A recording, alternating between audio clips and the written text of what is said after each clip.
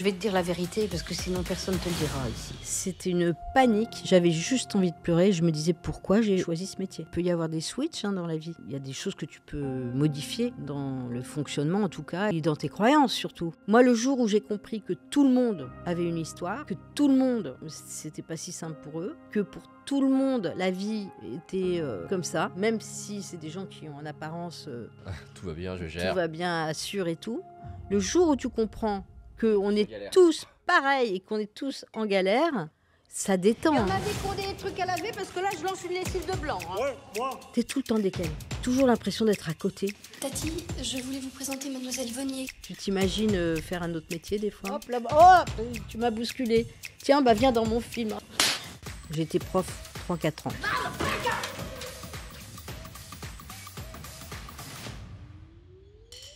Il faut vraiment que vous soyez aveugle. Il y a des gens, on va les laisser euh, sans trouver ça anormal, avec euh, un minimum par mois indécent, et que c'est normal. Tu vas penser que je suis complètement folle. Il paraît que les Égyptiens n'achevaient pas leur obélisque. Non mais sérieux, est-ce que les outils que tu connais, tu les utilises pour toi? Heureusement. Euh, Mets pas ta main comme ça. Ok, donc c'est plein de- de- d'instructions. et Mais ne mets pas ta Arrête avec tes mains. Oui, alors vas-y, parle.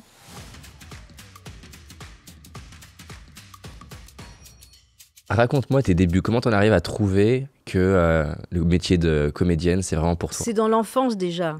Moi, je faisais du stand-up euh, de 3 à 8 ans, j'ai fait du stand-up. Tu faisais rire tes parents. euh, Bah, je racontais mes journées, mes profs, mes, les, les gens du village. J'habitais un vi- village de 250 habitants, j'imitais tout le monde. je- c'est- quoi qui te plaisait? Et ce qui me plaisait, Ouais. c'est que ma mère riait. Tout le monde va te raconter ça. Tous les acteurs ont voulu faire rire leurs parents. Pourquoi? Parce qu'elle était triste ou pour avoir son attention C'était quoi? on a, on a tous voulu euh, soulager quelque chose. Tous les enfants naissent pour sauver leurs parents. Et Tu percevais ta mère triste? Oui, ma mère, elle était exilée en fait. Elle était norvégienne, elle habitait dans un village français de, de 250 habitants. Elle était arrivée là, elle parlait pas un mot. Enfin, elle aimait mon père. C'était sa seule force, c'était son seul moteur. D'ailleurs, quand mon père est mort, elle ne savait plus parler français. Elle s'est arrêtée. à, quel âge? Son moteur quand? euh, de vie. c'est- Ben, à 84 ans, euh, mon père est mort à 85. Dans la même année, elle l'a suivi. Ok. Mais la minute où il est parti, elle ne pouvait plus finir une phrase en français. Waouh. D'ailleurs, petit truc pour les gens qui ont des enfants, euh, enfin parce que à mon époque, on, on disait qu'il fallait pas embrouiller avec les langues. Donc ma mère, elle nous a jamais parlé norvégien. Ok. Donc, comme ma grand-mère ne parlait pas français, Donc tu parles pas norvégien si, tu vas voir, ma mère ne nous a jamais parlé norvégien, mais ma grand-mère ne parlait pas français. Donc j'ai parlé, j'ai appris le norvégien avec elle. Ok. Et quand ma mère, mon père est mort, elle parlait plus français. Heureusement que j'avais appris le norvégien. Parce qu'elle parlait plus que norvégien. Donc tu me disais que tu avais envie, toi, de la, la faire rire. Donc as de 3 à 8 ans, t'es, euh, Alors sta- donc- tu fais du stand-up? Ouais, je fais du stand-up et je, je vois que, que être marrant, euh, ça soulage euh, les soucis, ça, ça met de la gaieté dans la maison. Donc pour moi, c'était être clown en fait, d'être acteur. Donc euh, un jour, je suis montée sur scène euh, dans une troupe qui s'appelait les Compagnons de la Foliole. Tu vois les troupes qu'il y a d'amateurs en province, tout ça. Mais à ce moment-là, tu sais, je vais, je vais être comédienne ou pas encore? Non, tu vas voir. Ok. Je, je, je suis sur la scène et je joue ce. Je crois que c'était la cantatrice chauve qu'on jouait. Et je sens de mes pieds à ma tête, jusqu'au bout de mes doigts, que je suis vivante, Hmm. que je suis complètement là. Et que en plus, je, je, ça fuse avec mes partenaires et qu'en plus, on communique avec le public. Ben, tu es dans le cosmos, en fait, après. Donc tu te dis, ben, quel métier ou quel état je veux atteindre dans ma vie euh, tous les jours, euh, supérieur à cet état d'avoir le sentiment d'appartenir, euh, de, de ne faire qu'un avec l'espace, les gens, le- l'émotion, le, le- le- toi-même. Et t'as quel âge là En t'oubliant toi-même. J'avais 16 ans. Et donc là, là, pour le coup, c'est évident. Tu te dis, en fait, euh, je me sens vivante, je me sens connectée à quelque chose de plus grand, avec les autres, avec euh, Voilà. mes, mes collègues. Là, tu te dis, je veux, je veux être comédienne. Ouais. Mais c'est du coup, tu te dis, je vais être comédienne sur scène, parce que là, tu parles du public, Ouais. ou je veux euh, faire des films. C'est quoi Qu'est-ce qui se passe dans ta tête je- Alors là, encore une fois, je ne sais pas. Ok. Tu sais, moi, je suis pas quelqu'un du tout qui a réfléchi hein, dans sa vie. je réfléchis depuis très peu de temps. Bah, J'étais dyslexique, euh, je comprenais rien aux maths, je comprenais rien au français. C'est vrai ça ou c'est un truc que tu te racontes à toi-même? Non, bah, j'étais, je suis moi- une orthophoniste, J'ai passé juste 5 minutes tout à l'heure dans, la- dans la loge et je te, je te trouve quelqu'un qui réfléchit. bien sûr. Mais euh, il peut y avoir des switches hein, dans la vie. Donc ça, c'est quelque chose qui a changé récemment. Je pense que tu sais mieux que moi qu'il est. euh, que je pense qu'il y, a des- il y a des choses que tu peux modifier dans le fonctionnement, en tout cas, et, et dans tes croyances surtout. C'est-à-dire que quand on te dit que tu es nul, j'ai retrouvé, là, j'ai rangé un peu chez moi, j'ai retrouvé mes bulletins. hein. Je mens pas. hein.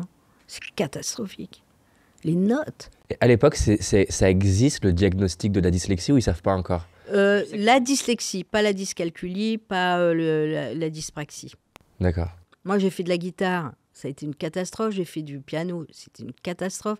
J'ai fait des claquettes. Raconte un petit peu parce que je pense Imagine le pied droit et le pied gauche. Non, mais dingue. justement raconte c'est quoi le, le problème que vit quelqu'un qui a de la dyslexie? Je sais que Richard Branson, euh, c'est un des sujets qui lui tient très à cœur puisqu'il en a beaucoup souffert et aujourd'hui il fait partie des personnes qui essaient de propager le message comme quoi ça peut être aussi une forme de, de génie caché et qu'on peut faire quelque chose grâce à ça. Mais c'est quoi en fait la vie de quelqu'un qui est dyslexique? Qu'est-ce Ah. que ça ressemble à quoi en fait? Moi, j'ai le, j'ai le sentiment que j'étais tout le temps décalée. Par exemple, quelqu'un venait de me dire quelque chose. Je rentrais chez moi, je disais putain, il m'a dit un truc. J'ai- Pourquoi j'ai pas réagi? Pourquoi j'ai pas. T'es tout le temps décalé. T'es tout le temps. euh, T'as toujours l'impression d'être à côté. Ok. en amitié, en... Enfin, alors, scolairement, euh, c'est- flagrant. C'est- C'est des- c'est des manques euh, de... pour les apprentissages, tout ça. Bon, mais c'est une catastrophe, moi, mes bulletins. hein. Ça veut dire quoi une catastrophe? Ben, je- je- J'arrivais quand même à, m- à me rattraper en... Je suis une fille du troisième trimestre. Donc, euh, euh, j'avais euh, juste 10 euh, pour passer dans la classe supérieure. Ok. Même mon bac, je l'ai eu comme ça. Et donc sur les bulletins, quand tu dis c'est une catastrophe, c'est quoi qu'on Moi, voit ce là? qu'on C'est- dit, Et on dit quoi? Je comprends rien. Et toi, et, et- mais je me vivais comme ça aussi. Et tu le vis comment du coup à ce moment-là? Ben, comme j'aimais bien rigoler, ça m'a sauvé, je crois. tu, tu, tu veux dire, t'es arrivé à te marrer de, de- des retours ou des commentaires des profs, c'est dans ce sens-là? Non, mais je tournais tout euh, à la rigolade. Puis il y, a- y forcément un moment où ça marche plus. Mais, mais derrière, tu sais que même sur les tournages, il faut savoir que. Alors, le, le théâtre, ça va parce que tu as, un mois, un mois et demi pour euh, tout intégrer. Mais imagine, quand tu arrives pour tourner, on te dit bon, là, le verre, il est là, il faudra qu'il se retrouve là parce que dans la scène précédente, il était euh, là, donc il faut qu'il revienne là à la fin. Et puis, euh, donc, tu pars de là-bas, tu dis tes phrases, euh, là, il y a machin qui arrive, donc il faut que tu le vois. Et puis ensuite, tu... Bon, laisse tomber, tu m'as perdu. hein. C'était un affolement, c'était une panique. J'avais juste envie de pleurer. Je me disais pourquoi j'ai choisi ce métier? Donc à ce moment-là, la veille ou le jour des tournages le jour du tournage, à la minute où on va tourner, où on te dit, tu te mets là, tu fais ci, tu fais ça. Moi, le temps que déjà, attends, fais-moi juste que je vois mon partenaire. Pendant des années, j'ai regardé la bouche des personnes. Plutôt que leurs yeux? Ah bah ouais. Pourquoi? T'étais pas à l'aise? Mais non, mais parce qu'il fallait que, il fallait pas que j'aille dans, dans la rencontre, parce que j'avais trop de trucs à faire, trop de trucs à gérer dans mon cerveau. Par exemple, les tuches, c'est toujours la même euh, script, euh, Véro, qui me dit, mais maintenant je me régale de voir comment tu, comment ça se met en place. Alors de plus en plus vite, plus on tourne, plus, plus je le mets en place vite. Parce que t'as appris une technique qui marche pour toi Mais non, mais je me suis sauvée moi-même. Enfin, j'ai j'ai appris aucune technique. Peut-être tu en as une pour moi. Mais moi, je me suis, j'ai fait avec mes, on, développe des stratégies, tu vois. Justement, c'est quoi que t'as développé qui t'aide à. Il me semble, parce que je ne les ai pas euh, théorisées ni Non, mais pour toi, pour toi. Ouais. mais il me semble que pour tourner, bon, déjà, moi, il faut que, euh, il faut déjà me dire ce que je vais faire. Ensuite, j'organise dans quel ordre je vais intégrer les choses. Donc, mais je fais ça toute seule, parce que mes partenaires, ils ont autre chose à foutre que, d'attendre que tout soit assimilé en moi. Et quand tu, tu le je fais fais. d'abord les accessoires, clac, clac, clac. Ensuite, le chemin. Mais tu le fais physiquement, ensuite- tu te déplaces. Physiquement. T'as besoin de bouger. J'intègre dans mon Dans, corps dans- les ton corps. Ouais. à la suite. Et ensuite, je mets le texte. Et puis après, j'ai la rencontre avec l'autre. Du coup, moi je trouve ça fascinant parce qu'il y a, il y a plein de personnes qui ont, qui ont leur propre, qui ont leur challenge. Toi, es le jour du tournage, tu as ce truc de putain, je vais pas y arriver, il y a trop d'informations. Qu'est-ce qui fait que tu continues? Tu aurais pu te dire, en fait, je vais, c'est trop dur, je vais. euh, Il y, a, y a beaucoup de gens qui parlent aujourd'hui du ce sentiment d'être un imposteur. Tu aurais pu abandonner. En fait, c'est quoi ton moteur à ce moment-là qui te pousse à te dire, en fait, bah, malgré ça, je continue, j'avance? Eh ben parce que au bout de la deuxième prise, je lâche prise. Et là, euh, je, je m'envole, comme dit Gad, euh, plus haut t'es un oiseau. C'est à ce moment-là où je m'échappe de moi, où je suis avec l'autre, où je suis dans la situation et où la vie est, est merveilleuse. Et ça, ouais, donc ce truc-là, il est trop fort. Ce- à quel point tu l'adores pour, entre guillemets, laisser, le, laisser ce challenge-là t'arrêter, c'est ça? Ouais. Moi, je crois. D'être avec les gens, de, de fabriquer ensemble quelque chose, euh, c'est un tel plaisir que je veux bien souffrir euh, Pour ça. quelque temps. Ce qui me fait plus souffrir, c'est quand ça fait souffrir les autres. Et justement, Des fois, il y a des, des- des partenaires qui ne supportent pas. Mais moi, je- je- je- j'atteins euh, euh, l'inspiration une fois que tout est en place. Et certains de mes partenaires ont l'inspiration tout de suite. raconte-moi une scène justement que tu as vécue où toi, t'arrives pas à être dedans, tu as, besoin de prendre du temps pour ça et tu sens soit de l'agacement, soit. Oh non, mais moi, j'ai vécu une, une torture avec un metteur en scène que je citerai pas. Alors, raconte la scène, mais sans Une torture, euh, 23 jours de torture. Ok. Ben, si tu tombes sur un- quelqu'un de sadique, euh, c'est une catastrophe. Si tu, si tu tombes dans la vie aussi sur quelqu'un euh, qui va attraper ce truc-là de toi et, va te le retourner et, te t'humilier avec ça. Moi, à partir de... Si on me torture, je, ça va se fermer et mon cerveau n'est plus capable du tout de... Alors là, mon cerveau, il se met en, en PLS. C'est quand quelqu'un tue ton élan. Enfin, est-ce que tu sais comment tu parles? Est-ce que tu sais comment tu clignes les yeux? Est-ce que tu sais euh, comment tu mets tes bras? Non Il faut pas savoir, je crois. Donc, si par exemple, moi je suis toi et toi t'es le réalisateur, Euh, Mets pas ta main comme ça. ok, donc c'est plein de- de- d'instructions et Mais, ne en- mets pas ta... euh, Arrête avec tes mains. Hmm. Oui, alors vas-y, parle. bah, t'as plus envie. Ouais, c'est Tu dur ça. T'as plus envie. T'as plus envie, tu, tout de suite ton cerveau. T'as vu J'ai vu que t'as une émotion si je te le dis comme ça. 23 jours comme ça. Et t'as fait comment du coup pour le, pour le gérer au mieux? Ben, je me suis dit, t'as pas le choix. Et puis, ne prends plus les choses personnellement. Mais même, j'ai été plus loin. J'ai essayé d'imiter la personne quand- qui me montrait comment faire. Pour qu'ils voient, pour qu'ils se voient Non, mais euh, la personne me disait, euh, fais comme ça. Alors, je, je faisais comme ça. Il me dit, ne, ne m'imite pas. Bon, alors, je, je, je t'imite pas, mais donc il faut faire comme ça. Mais non, tu comprends pas. C'est-à-dire, c'est jamais bien. C'est acquis père-père. Quoi que tu fasses, t'es pas dedans. Et du coup, toi qui as, été réalisatrice, justement, euh, j'ai lu plusieurs fois sur plusieurs. euh, C'était des réalisateurs américains qui a plus des réalisateurs qui sont reconnus comme extrêmement bons, qui vont être très très exigeants. C'est comment la fin C'est quoi la frontière entre être très exigeant en tant que réalisateur de de la création que tu es en train de créer avec les comédiens et en même temps pas rentrer dans ce dans ce mode où en fait c'est presque castrateur. Tu t'empêches la personne de s'exprimer. Je sais pas si ma question elle est claire, Ah, mais là, là, elle est très claire. Par exemple, au théâtre, quand je, mettais en scène au théâtre, je savais que, justement, parce que tu, tu fais jamais deux fois la même chose. Tu dis jamais bonjour deux fois la- de la même manière. Tu fais rien de la même manière chaque jour. ouais. Tu essayes de t'approcher de ta perfection, euh, si tu as une idée de la perfection. Donc, alors au théâtre, quand, euh, quand euh, j'allais euh, voir les pièces que j'avais mis en scène, je savais que c'était pas la peine de dire ce qui n'avait pas été. Parce que je savais que demain, c'est pas la même chose qui ira pas. Du coup, comment tu les aides à s'améliorer? C'est quand je vois un truc qui se reproduit plusieurs fois et qui est pas bon ou pour un partenaire ou pour la pièce ou pour lui-même, je le prends à part, je dis tu vois, est-ce que ça serait pas gna gna gna. Bon, alors il y a des gens qui aiment pas. De quoi?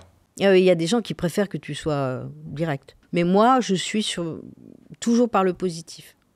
Tu vois, je vais, je vais te faire écouter un, un message vocal là, que m'a envoyé Gad. Je lui ai demandé hein, si, si c'était si OK que je te le fasse écouter. Il m'a dit oui.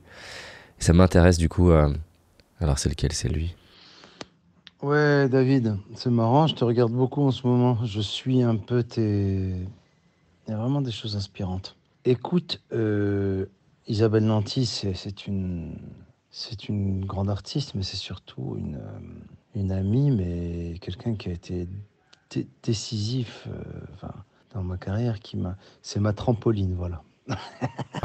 c'est ma trampoline. Tu sais, tu peux sauter. Parfois, tu sautes sur du dur. Elle, c'est la trampoline, quoi. Elle m'a pris, boum, elle m'a absorbé, paf, elle m'a rejeté en l'air.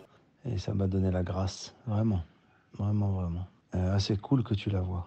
Elle est, elle est très, très, très forte. C'est une grande, grande, grande artiste. J'espère qu'on Ça se te fait voit quoi d'entendre ça Ça me touche énormément. euh, J'ai pas du tout conscience de ce que dit Gad. Le seul, le seul truc que je peux dire, c'est que j'étais complètement d'inconscient à inconscient avec lui. Et que je l'admirais tellement, je trouvais qu'il avait, il était tellement euh, en potentiel, enfin tellement poète, tellement euh, comme personne, que je, je- je- peut-être qu'il a vu ça dans mon- mes yeux. Et que peut-être que tu lui, as, tu lui as renvoyé son potentiel, enfin, tu lui as renvoyé. bah, j'étais son miroir, en fait. Je crois. Parce que Gad, il a son génie et c'est le sien depuis qu'il est né et qui, qui ne fait que, que, que grandir. Et, euh, et on, on lui apprend rien. Mais c'est vrai qu'on on accueille et, et moi, j'étais son premier public. Et puis l'échange avec lui, c'est tellement quelqu'un qui pense comme personne. Enfin, qui pense unique, qui pense singulier, qui pense euh, à- euh, dans un axe qui, où personne ne pense à aller. Jamais. Il voit des choses que personne ne voit. Il observe des choses que personne ne voit. Je pense que ça, ça vient de son déracinement, c'est-à-dire qu'il il est de partout, il est de nulle part. Hmm. Et, et que, en fait, ça lui- lui permet de se, de se fondre au mur, de s'habiller de la même couleur que le papier peint, et, d'être invisible et de, et de pouvoir observer des choses que personne d'autre. On va aller dans un endroit, et je suis sûre que ça t'est arrivé avec lui, tu vas dans un endroit, il va avoir un truc que personne n'a vu. Il est tout le temps en train de faire des remarques sur ce qui se passe. Mais puis- et qui sont à mourir de rire. Donc ça, c'est un... Et, et au-delà de ça, euh, je pense que son... C'est quelqu'un qui arrête jamais, jamais, jamais de penser, à mon avis. Mais toi, tu penses que tu, en plus du côté miroir, de, qui, est, d'ailleurs qui a un, phénomène qui s'appelle, je sais pas si tu connais l'effet Pygmalion, c'est chez les professeurs, c'est donc une étude qui a été menée où, en gros, ils prennent deux, deux groupes de jeunes enfants et en fait, dans un cas, ils disent aux professeurs qu'il s'avère que que ces élèves-là sont des génies qui, sont qui ont un QI supérieur à la normale. C'est pas vrai, mais on fait croire ça aux professeurs. Dans l'autre cas, on leur dit rien de particulier. Et en fait, on mesure l'influence que ça va avoir sur le professeur dans comment il explique aux enfants. Et en fait, ce qui est fascinant, c'est que quand le professeur il est persuadé que l'élève c'est un génie et qu'il comprend pas, au lieu de remettre en question l'élève, de il est, il est con, il se dit merde, j'explique pas bien. Donc du coup, il explique mieux. Ou il teste d'autres méthodes d'apprentissage. Ça peut être apprendre debout, apprendre en bougeant, apprendre par la couleur. Et en fait, il s'avère que les, les notes des élèves se mettent à grimper. Et donc l'effet Pygmalion, c'est l'idée de que ton regard sur l'autre, il a une influence sur qui va devenir. Et je trouve que c'est un, moi c'est un principe que j'adore. Euh, D'où la phrase d'Einstein que j'ai vue tout à l'heure. je sais pas laquelle t'as vu, parce que j'en adore plusieurs. Ben, c'était, ça concernait que tout le monde euh, est un génie. Ok, donc c'est si si t'es un poisson et que tu te compares à un singe, alors tu vas alors tu vas te trouver toute ta vie stupide. Voilà. C'est-à-dire que tout le monde a son génie, il, il faut juste qu'il le trouve, c'est ça? C'est ça. Et surtout d'arrêter d'essayer de... de gagner une compétition pour laquelle t'es pas fait euh, t'es pas fait pour. Michael Jordan, il était incroyable, extrêmement déterminé, mais il n'était pas fait pour gagner en baseball. Il a essayé, ça ça ça a pas donné Michael Jordan. Un jour, je suis allée à New York et un copain à moi s'est fait euh, cirer les pompes par un cireur de souliers à la gare centrale. J'ai jamais vu, à tel point que les pompes, il est rentré à la maison, il les a encadrées. Waouh. Donc on y est retourné avec un autre ami et j'ai interviewé ce mec. Je lui ai dit mais comment tu comment comment t'es arrivé là? Et il a dit j'ai fait j'ai fait de la trompette, j'ai fait de la danse à claquettes, j'ai fait plein de trucs. Mais il y a un truc que personne ne fait mieux que moi au monde, c'est cirer les souliers. Waouh. C'est fou et c'est c'est ce que tu dis. C'est enfin c'est cette phrase d'Einstein en fait. Euh, J'avais écrit il y a très longtemps un spectacle qui s'appelait Les loutres ne jouent pas du ukulélé Ok. parce que moi je suis assez fascinée par des, f- des- des- les personnes qui se sont que j'appelle des contorsionnistes qui se sont euh, qui étaient euh, je dis n'importe quoi mais tu vois quelqu'un qui est un peu bouboule euh, euh, qui a les cheveux comme ça qui, bah, bah, et puis qui tout d'un coup se je sais se se transforme et devient un peu son idéal à lui-même je suis fascinée par les gens qui arrivent à faire ça moi je n'y arrive pas hein. Pourquoi? Mais je suis fascinée par ça. Et donc j'avais écrit un spectacle qui s'appelait Les loutres ne jouent pas du ukulélé parce que je pense que les loutres peuvent jouer du ukulélé. Euh, elles peuvent gratter le ukulélé avec leurs petites euh, pattes comme ça, mais elles peuvent pas faire les accords. Il y y a toujours un moment où quand même tu vas être face À ta que- réalité. à, à ta réalité. Et euh, ma réalité à moi, je l'ai comprise très tôt. Je l'ai comprise euh, quand j'étais chez les scouts, parce que tout le monde était meilleur que moi, ou euh, tu sais, on passe des, des badges pour, euh, pour avoir des badges là sur ta, ta, ta chemise. Et, tout, et toutes les copines, elles faisaient mieux euh, le feu. Moi, je ne sais pas faire le feu, par exemple. Tu sais que je pense que c'est un don de Dieu hein, de savoir faire un feu. Bon, bref. Donc, j'ai jamais réussi à allumer un feu. Allumer le feu. Euh, Il y avait le, le truc euh, secouriste, il y avait le truc. voilà. Toutes les filles, toutes les autres, elles étaient mieux, meilleures que moi. Donc très tôt, avant 9 ans, j'ai su que j'étais pas bonne. J'étais pas bonne dans plein de trucs. J'ai- Après, j'ai essayé la guitare. Il y, a, il arrive un stade où, où Ça marche pas. je passe pas. J'ai fait euh, cinq ans sur la méthode bleue euh, ou rose euh, au piano. Ça, je ne passais pas le cap de, de plus loin. Tu vois? J'ai voulu chanter. Il y a un moment où ma voix, elle passe pas. Et donc, euh, ben voilà, moi qui aimais les grandes voix, j'aimais la Fitzgerald, tout ça, euh, Aretha Franklin. Bon, bah, tu tu t'ab- tu t'abstiens. hein. Tu te dis, bon, on va laisser ça aux grandes. Euh, plein de trucs comme ça. Donc, ben finalement, tu réduis ton, ton chant. Donc, j'ai beaucoup d'admiration pour ceux qui, qui ne se sont pas laissés impressionner par leurs limites, qui sont allés au-delà et qui, très certainement, les ont passées. Moi, j'ai jamais réussi à passer mes limites parce que, euh, parce que ça passe pas. Donc, j'ai fait autrement. T'as fait comment? Bah, toutes mes petites stra- stratégies. Tu t'es focalisé sur la comédie? Non, pas forcément, mais je, je suis ailleurs. Je suis dans autre chose. T'es dans quoi du coup?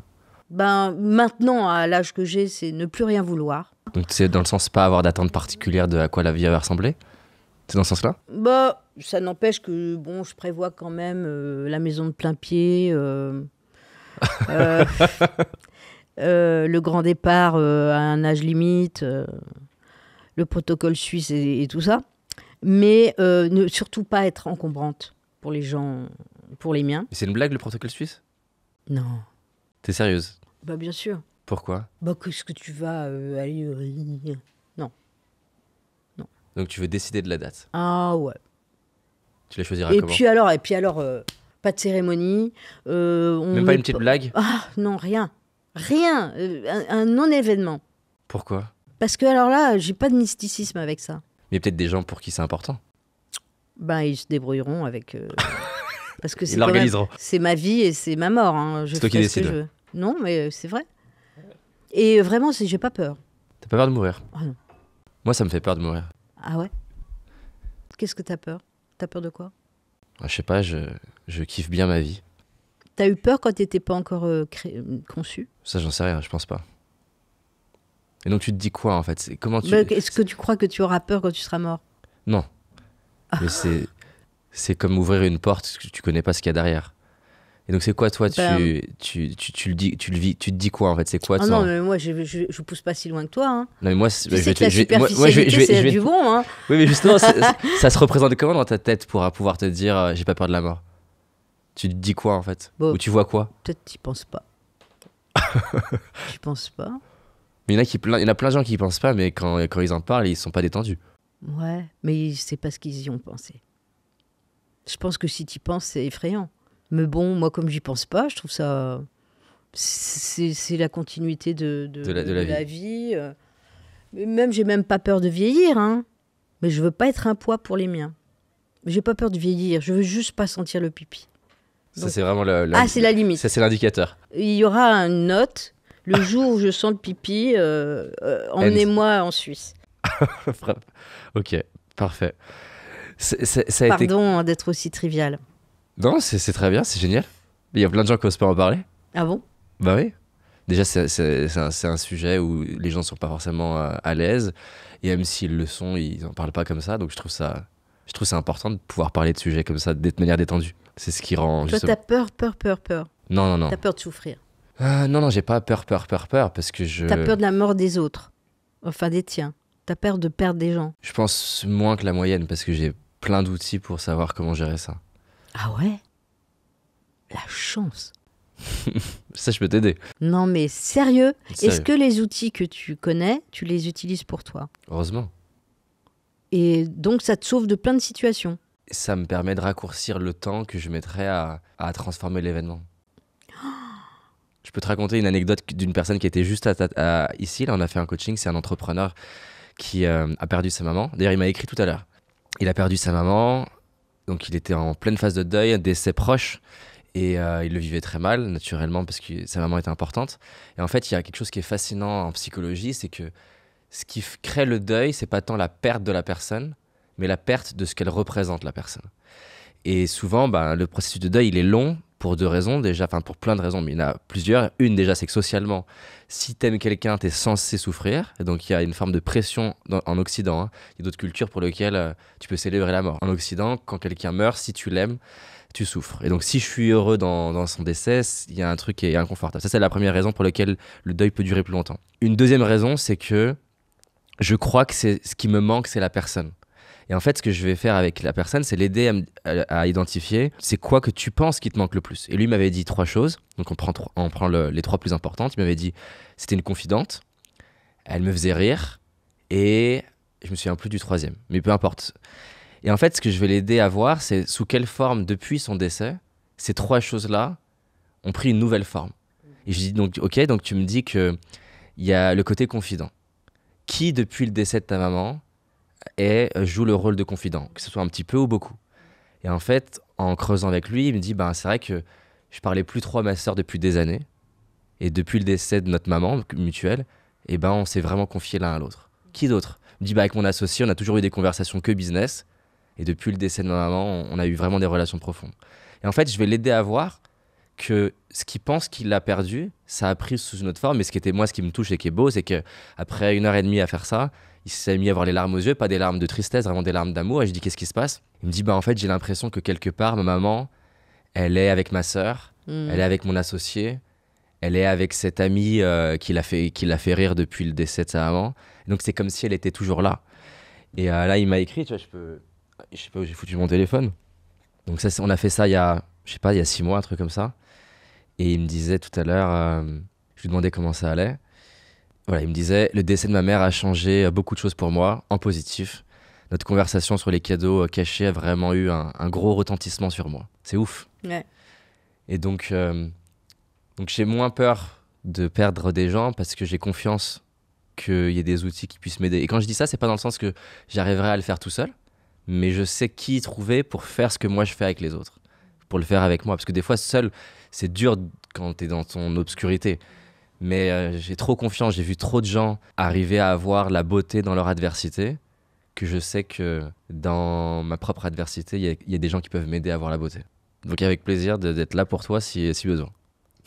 C'est gentil. Bah pareil. Hein. Bah, moi, le moi, cas déjà je- là maintenant Mais moi, mais non, mais parce qu'en fait, je m'aperçois qu'en fait, euh, tu as parlé à un moment donné de socialement la- la- l'injonction sociale. Ouais. Moi, je l'ai pas du tout l'injonction sociale. Le fait de sentir la pression sociale de faire d'une certaine manière. Et justement, comment mais tu... alors, comment je m'en fous? Mais ça, ça m'intéresse. Comment, ce serait quoi le... si on faisait un guide, on, on peut scanner ton cerveau, comment on fait pour en avoir rien à foutre? Je crois que le- le jour où, et ce qui est certainement ton cas, puisque maintenant tu connais beaucoup de choses sur le fonctionnement euh, psychologique et euh, sur l'être humain, moi, le jour où j'ai compris que tout le monde avaient une histoire, que tout le monde, c'était pas si simple pour eux, que pour tout le monde, la vie était euh, comme ça, même si c'est des gens qui ont en apparence euh, Tout va bien, je tout gère. va bien, assure et tout.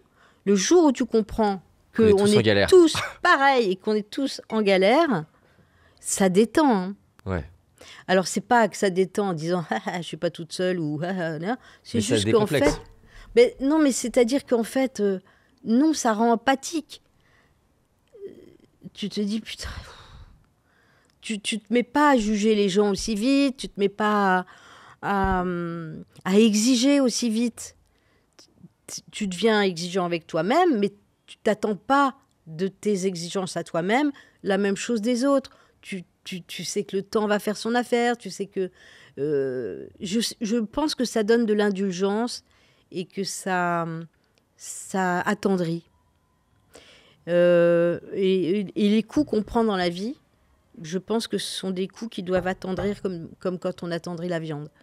Justement, tu parlais de cette notion de il y a un peu le, devant, il y a ce qui se passe vraiment. Il y a beaucoup de personnes qui, quand ils voient des personnalités qui qui ont un parcours qui est hors du commun, ce qui est le cas pour toi, qui ont réussi euh, des choses dans la... Je le vis pas du tout comme je, ça. hein. je sais, mais c'est ce que plein de gens pourraient voir quand tu non, mais moi, la- ce que je vois, j'ai de la reconnaissance pour les, les merveilleuses personnes que j'ai rencontrées. On parlait de Gad tout à l'heure, avoir croisé Gad dans sa vie, c'est, c'est- ça te modifie à vie. C'est, c'est, c'est toutes les formes. On, va, on parler, on va parler de ça juste pour rester sur les challenges. On est comme une sculpture, tu vois. Au début, on est un bloc comme ça, puis Et chaque personne se on sculpte. prend des coups ou, ou des, ou des caresses et tout ça, et tout ça, ça fait un redin après. Et justement, pour devenir un, un un- Picasso. pour devenir un Rodin ou un Picasso, il y a beaucoup de gens qui vont se dire putain, waouh, ils ont, ils ont la vie facile, ces personnes qui ont réussi la vie qui était importante pour eux. Et à chaque fois dans, dans ces échanges-là, qu'il y a le moment sur l'adversité ou la difficulté, je vois que ça aide beaucoup les gens déjà à, à se rendre compte qu'ils sont pas tout seuls et euh, à se rendre compte qu'ils peuvent en faire quelque chose. Et donc, moi, j'aime bien quand on reste pas trop dans des trucs euh, théoriques et abstraits, et je trouve que les histoires, ça raconte mieux la théorie. C'est quoi pour toi un moment d'adversité? Et si tu peux le raconter pour qu'on le vive avec toi au moment où tu es en train de le vivre, et qu'est- et qu'est-ce qui se passe en fait? C'est quoi le cheminement? T'en choisis une. Non, mais juste pour revenir et terminer, je vais pas m'échapper, hein, je vais trouver. Mais euh, je peux raconter n'importe quoi. Euh, non, non, non, non. J'avais lu très jeune le Cœur conscient de Bettelheim parce que on nous avait fait lire les, la, psychanalyse des rêves. Et donc moi j'ai voulu lire. euh, bah, c'est un cousin à moi qui m'a fait lire le Cœur conscient.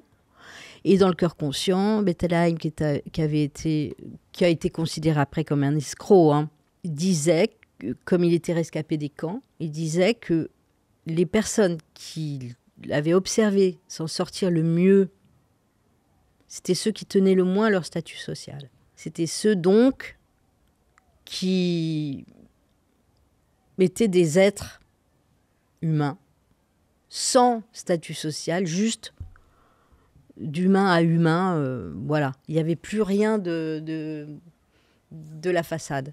Hmm. Donc, euh, cette notion de, de lire les gens, pas en façade, mais en 3D, euh, je pense, sauve énormément euh, notre vie, une fois qu'on a compris ça. Ça, c'est le, pre- le premier stade. Maintenant, tu veux que je raconte une anecdote? Un moment, un moment d'adversité pour toi d'adversité? Putain, j'en ai tellement. Un moment où tu as l'impression que c'est c'est challengeant, c'est difficile pour toi, tu vois peut-être pas comment dépasser ce truc-là. Peu importe. Ah, euh, donc on fait une petite séance là? Je suis reçue chez Paradox. Juste avant de revenir à l'interview, j'aimerais te présenter rapidement le but de cette chaîne. À Paradox, on adore le dev perso et en même temps quelque part on le déteste. En tout cas c'est code. Qu'on soit d'accord, on est certain que des petits changements peuvent changer totalement ta trajectoire de vie. Mais je sais pas toi, nous on en a marre qu'on prenne les gens pour des débiles avec des clichés, des solutions miracles, des contenus qui sont sans nuance ou encore qui t'expliquent qu'il y a qu'une bonne manière de vivre et réussir sa vie. On n'est pas des clones, notre vie elle est complexe, l'humain il est complexe, et c'est pour ça que sur Paradoxe sans filtre, l'intention en tout cas, c'est de s'approcher au plus près de la vraie vie.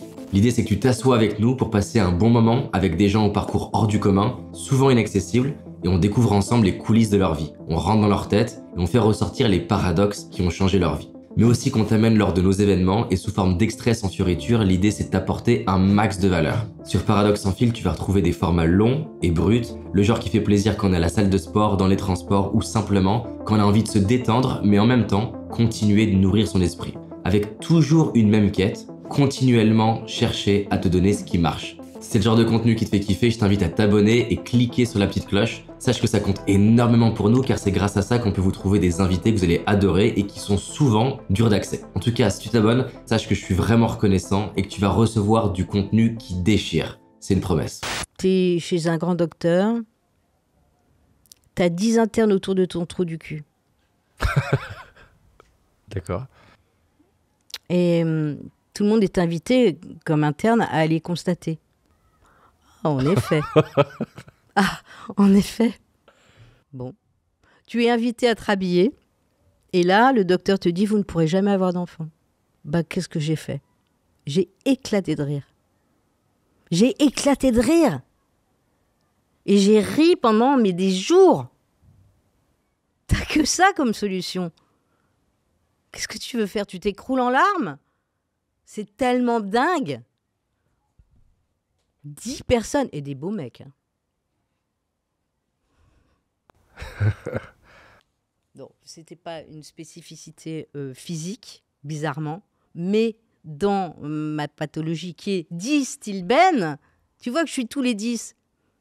10, 10, 10, 10 Stilben. Mais ça se crée pas pareil. Mais dans Mais tu, ma voulais, tu voulais des pathologie, enfants? Tu voulais des enfants? J'ai une fille. T'as une fille. Euh, J'aurais pas pu faire mieux. hein. Euh, ma fille et moi, on s'est adoptés. La fille que j'ai, j'aurais pas pu en fabriquer une aussi géniale. Donc, euh, je ne suis, je n'ai, j'ai zéro frustration là-dessus. Et donc, entre Mais moment. sur le moment, quand tu as 30 ans, Ouais, mais en plus, je, je comprends très bien parce que ça, ça fait 4 ans avec euh, ma femme qu'on qu'on qu'on cherche à avoir un enfant, donc je comprends très bien, euh, le- surtout que je- j'en ai toujours voulu.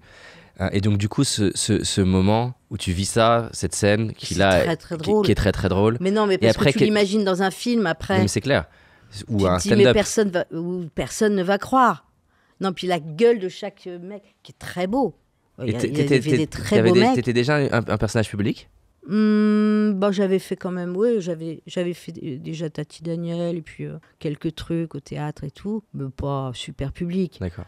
Non, mais, Mais de toute coup, après- façon, je vais te dire un truc. Un jour, j'ai été hospitalisée et j'avais fait un vertige paroxystique bénin. Ça, je vous invite tous à vivre cette expérience incroyable. Tu es dans un manège à sensations, mais tout seul, dans ta tête.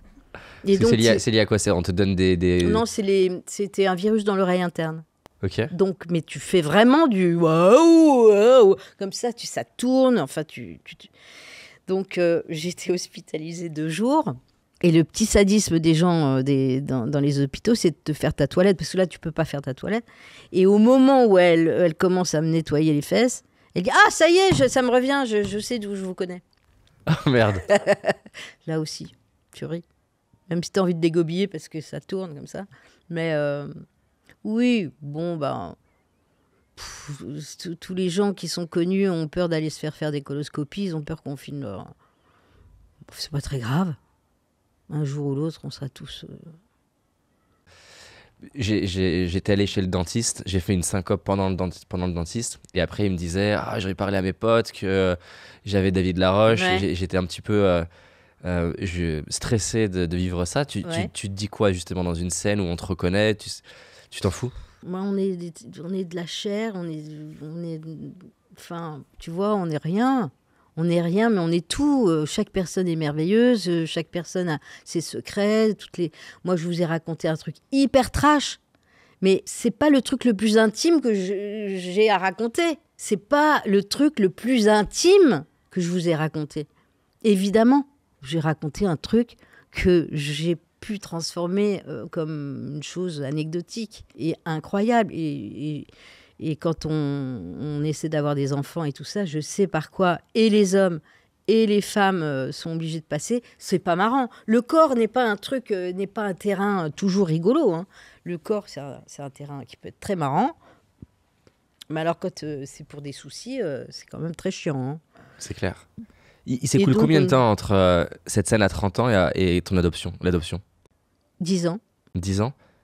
Et justement, ça m'intéresse. Donc là, après, après en rire, tu, tu, te dis quoi en fait? Tu te dis c'est mort, tu te dis je vais adopter, tu te dis. Euh bah après, bah, je, je, venais de me faire plaquer aussi. Ok. Donc c'est.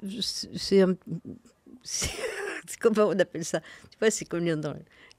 comme les quilles là. Bon, c'est un strike. Euh, bah, qu'est-ce que tu te dis? Non, bah, tu mets quelques temps. Moi, je ne me souviens plus. Je crois que j'ai. Hum, ben, j'ai été en thérapie. Ok. J'ai adoré. Mais du coup, tu es comment J'ai adoré la thérapie. comment en thérapie Tu t'autorises à aller dans, dans tout... Parce que ce qui est très commun chez plein d'artistes qui vont euh, avoir de l'humour, etc., c'est d'avoir des fois des difficultés, je dis pas que c'est ton cas, hein, d'avoir des difficultés à aller dans plus la tristesse ou euh, ces, ces, émotions. Comment tu es en thérapie? Raconte-moi. Bah, ça dépend. Tu t'autorises à... Oh bah ouais. À lâcher? bah, Il y a des paquets de mouchoirs, tu sais, chez le donc tu as un contexte. Donc là, tu as déjà été, évidemment. Peut-être pas sous cette forme-là, mais j'ai fait plein d'accompagnements. Plein oh, il y, a des, y a des paquets de, de mouchoirs en papier.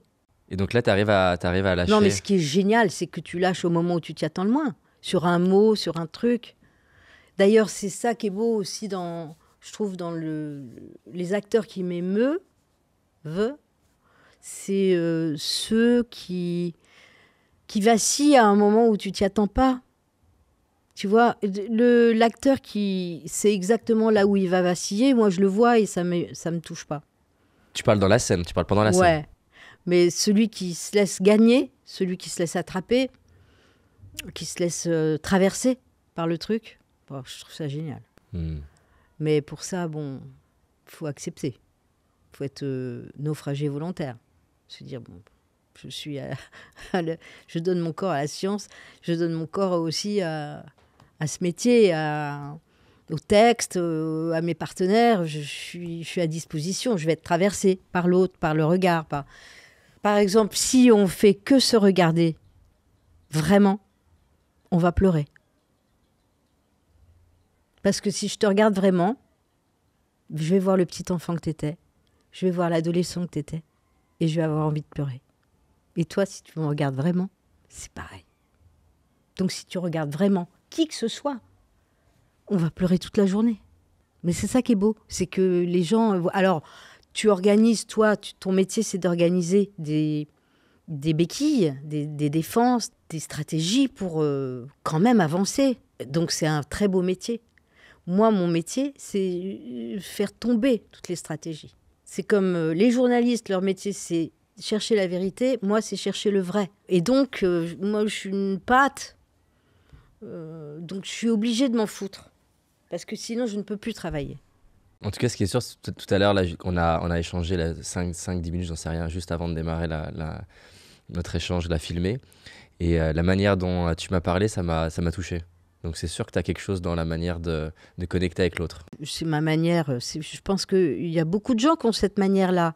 Sauf que socialement, on ne se l'autorise pas. Je sais que tout le monde est pareil. Je le sais. J'ai déjà rencontré des psychopathes. Hein. J'ai déjà rencontré des psychopathes. Des une anecdote à raconter? Mais non, mais des gens qui, avaient tout verrouillé, tu vois. Mais je pense que même eux, c'est pour ça que je pense qu'il y a des techniques euh, extrêmement euh, douces à employer pour, euh, pour amener les gens à se rejoindre eux-mêmes, la bonne partie d'eux-mêmes, tout ça. Des techniques très très douces, pas forcément volontaristes tout le temps. Mais donc, du coup, euh, moi, j'aime bien, en général, les gens. Bah, non, mais parce qu'il y a très peu de gens détestables, en fait. Non, c'est clair. Euh, les gens détestables, ils ont construit une pensée. Donc, ils ont construit. Mais eux, ne sont pas forcément détestables. Les gens qui sont détestables ont construit des pensées qui ne sont pas humainement possibles ou ont construit des protections qui sont pas humainement possibles parce que l'être humain de base, il, il, souffre. Et ça, ça nous rend égaux. Tous. On est tous égaux alors là-dessus.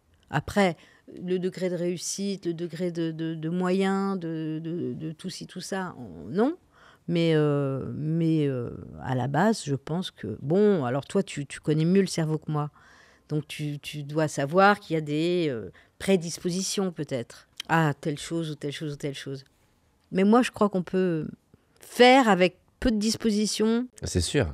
C'est prouvé même, c'est- la neuroplasticité, le, le cerveau, il est, on est avec un, comme un, un- un- comme un ordinateur qui serait pas encore complètement configuré et dont on a la liberté de le reconfigurer ou de le- Jusqu'à quel âge? Jusqu'à la fin. C'est juste que c'est, entre guillemets, euh, euh, ta souplesse qui est, qui est, qui est plus, qui est moins bonne qu'au début, mais jusqu'au dernier jour, ton cerveau, il est neuroplastique. Et je peux te poser une question? Oui. Si tu as donc le- ce pouvoir-là avec toi-même, Ouais. tu as envie d'être comment? Pour moi, Ouais. Tu as envie de changer quoi? Tu as envie de devenir quoi? Tu as envie de, de- Voilà. De, de a- faire quoi de toi-même? Yes. Il y a plusieurs choses sur lesquelles j'essaie d'avancer. Donc une là qui me vient, sur laquelle j'ai des... ça me vient parce que c'est le contexte et ça et j'ai déjà bien avancé, c'est de justement être plus. euh, tu parlais de d'en avoir rien à faire, de, de lâcher prise. Quand je compare mes premières interviews à maintenant et là où j'ai envie d'aller, ben j'ai beaucoup progressé sur être beaucoup plus détendu dans mon corps. Et donc c'est sur ça que j'ai envie de continuer d'avancer, Euh, d'être euh, bien avec moi-même, peu importe euh, ce que les autres peuvent penser. C'est un, un sujet de fascination, donc pareil, je, je pars de très loin, mais j'ai encore envie de m'améliorer. C'est tout ce qui est expression orale, l'art de raconter une histoire, de, de, partager, d'enseigner via des anecdotes. J'ai un idéal dans ma tête que j'ai envie de continuer à aller explorer. J'ai eu des phases comme ça où j'étais plus branché finalement à être connecté à une forme de flow et laisser venir ce qui venait. Donc j'avais plus de facilité à, à, par exemple, à avoir justement un moment où je vais touché, inspiré, émotionnel, euh, et il va se passer quelque chose un peu de magique qui n'était pas prévu. Puis j'ai eu d'autres phases de ma vie où j'étais plus dans euh, l'obsession du détail et préparer, m'entraîner, et ça a amené des dimensions de moi que j'adore aussi. Et, euh, encore une fois, là, il y a un paradoxe qui n'est pas évident à concilier, mais ce sur quoi j'ai envie de plus en plus progresser, c'est d'arriver à, pouvoir faire de plus en plus les deux et passer de l'un à l'autre. Par exemple, hier, on avait un rendez-vous, et je suis content, parce que c'est rare que. Enfin, c'est rare, j'en sais rien, c'est relatif, c'est rare. Mais bref, en tout cas, je suis content que dans une discussion qui était technique en soi, d'expliquer quel livre je veux écrire et comment, etc., que je puisse avoir eu laissé de la place. à- j'ai, je sais pas, j'ai eu quasiment les larmes aux yeux deux, trois fois de euh, ce que j'avais envie de partager dans le livre. Et ça, c'est un truc sur lequel j'ai envie de progresser, parce que c'est un paradoxe. Plus je bosse la partie scientifique, euh, méthodique, plus j'ai du mal à réaccéder à ça. Ah bon? Ouais. Et donc, ça se fait en, en- en cycle. Donc, ça, c'est un truc sur lequel Mais je. peut- Peut-être que c'est euh, aussi que on choisit un travail ou un métier ou voilà, on avance, on apprend et hum, on se sert de ce qu'on apprend. Et puis un jour, euh, on rejoint la personne qu'on était au tout départ. C'est-à-dire que se ré- réconcilier ce chemin fait de- d'expérience et tout avec euh, euh, l'enfant qu'on était. Et justement, tu m'en parlais là, hors caméra. Tu me disais ce, ce en quoi j'étais pas d'accord, que tu n'arrivais plus à réaccéder à, à l'enfant. Ouais, parce que l'enfant, il y, a des, il y a parfois, dans certaines vies, des enfants perdus. Non, mais tu me disais tout à l'heure que. tu- tous les enfants ne sont pas perdus. Tu- tous les enfants n'ont pas perdu. Enfin, tous les adultes n'ont pas perdu l'enfant. Bah, on en connaît plein. Des, des- des gens qu'on voit, euh, c'est évident que l'enfant est toujours là. Mais toi, Il y en a Toi. qui ont perdu l'enfant. Et il y en a parmi ceux qui ont perdu l'enfant qui peuvent le récupérer.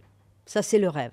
Et Donc, puis, comment- comment il y a peut-être aussi des gens qui ne peuvent pas parce que l'enfant a été Isabelle, comment tu, comment tu fais toi pour récupérer euh, l'enfant? Euh, bah, je sais pas.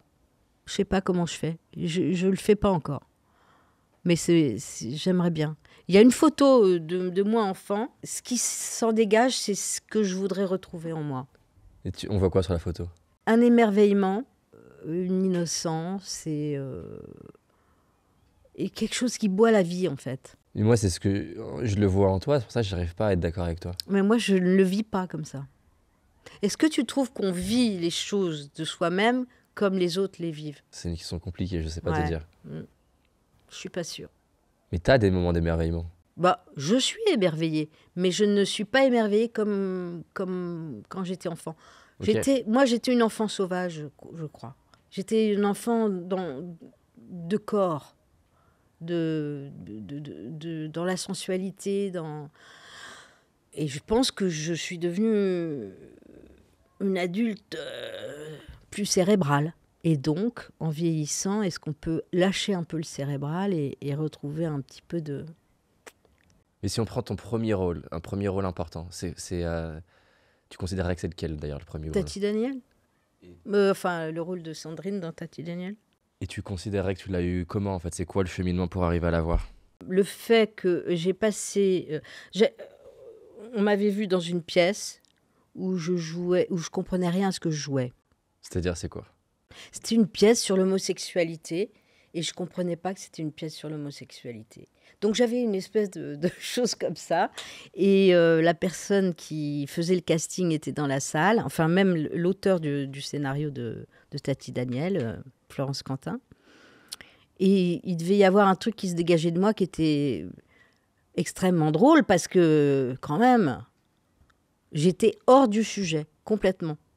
J'ai mis des années à comprendre que j'avais joué une pièce là-dessus. J'ai passé le casting de cette fille qui, elle, par contre, savait ce qu'elle faisait, hein, puisque c'était une fille qui était censée avoir une vie dure, euh, qui menait euh, la vie dure à cette euh, dame pas gentille.